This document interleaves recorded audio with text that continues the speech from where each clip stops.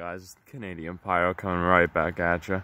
I told you I was going to light off a 6.5 grammer, but I said, fuck it, let's do 10. I've never tried the waterproof fuse, uh, like completely submerged in water. I have lit a piece of it in my hand and like put it in water, but I've never actually put a firecracker in water. So let's hope this is not a complete waste of 10 G's of flash. Even though that's not that much, it would still kind of suck. Let's do it.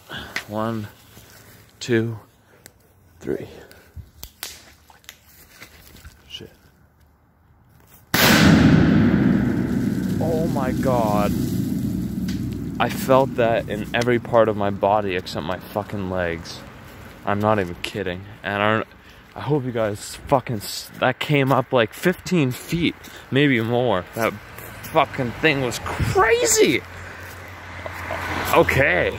Wow. I need to do that again. Like and subscribe. That was fucking nuts. Holy shit.